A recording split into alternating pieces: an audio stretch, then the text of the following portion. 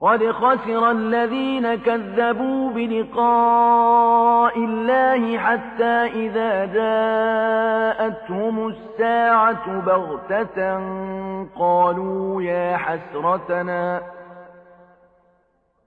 قالوا يا حسرتنا على ما فرطنا فيها وهم يحملون أوزارهم على ظهورهم